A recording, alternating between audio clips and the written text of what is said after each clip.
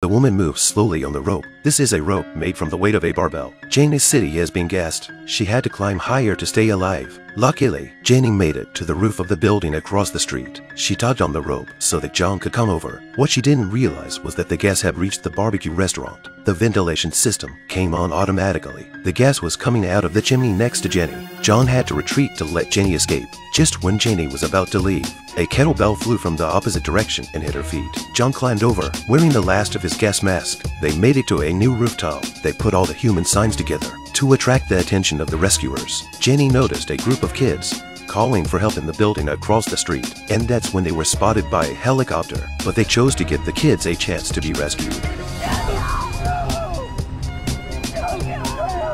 In order for the rescuers to understand what they were trying to do, they put all the signs upside down in the shape of arrows. The rescuers followed the arrows and found the children.